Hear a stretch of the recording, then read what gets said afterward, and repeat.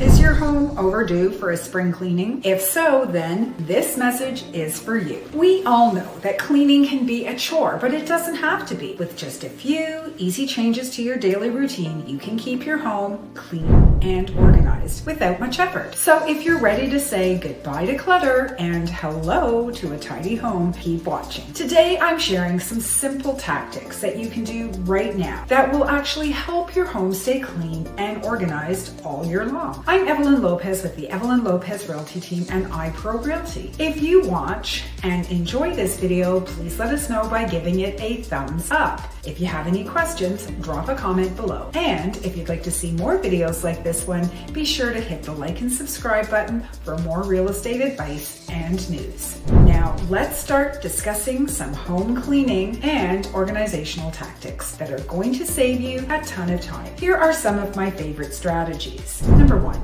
Create a cleaning schedule. One of the best ways to keep your home clean is to create a cleaning schedule. This schedule should include daily, weekly, and monthly tasks. For example, you might want to vacuum and dust daily, clean the bathrooms weekly, and do a deep clean once a month. By breaking up your cleaning tasks into smaller, more manageable chunks, you'll be more likely to stick to your schedule and keep your home looking its best.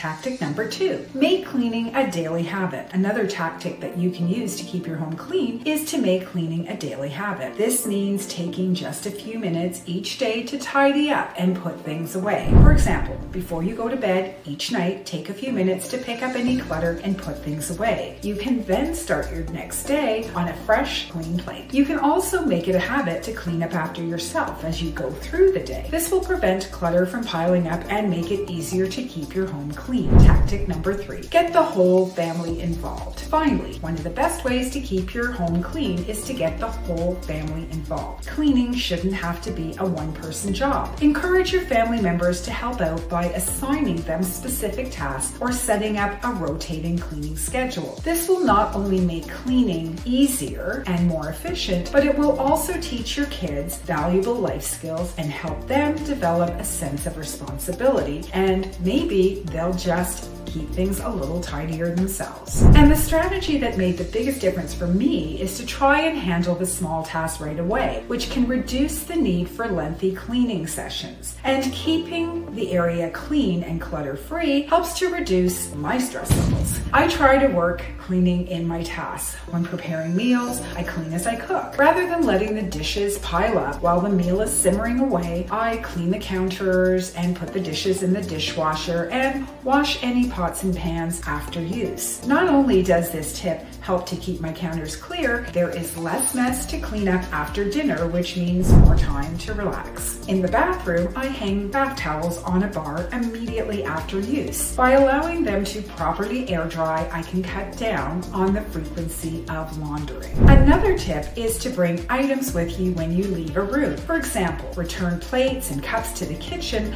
right away, rather than letting them stack up in the family room or in your home office. When coming home, hang up your coats and put your shoes, backpack, and purses in the closet. It leaves the entryway tidy and clutter free. If you implement these small changes, your home will stay neater and you'll minimize the number of dedicated cleaning sessions you need to take on each week. Check out our blog post for more home cleaning and organization ideas. You can find the link in the caption. Then reach out if you need referrals for housekeepers, window washers, or any other home service providers. And check out our podcast, Realty Bites Conversations on Real Estate and Lifestyle, for more helpful tips. And remember, we're not here to just help you buy or sell your home. We want to help you love living in it too.